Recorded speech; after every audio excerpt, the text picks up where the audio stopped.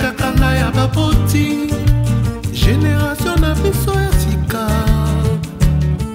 na moki tozali na nyonso tobebisa te o libonza ya nzambe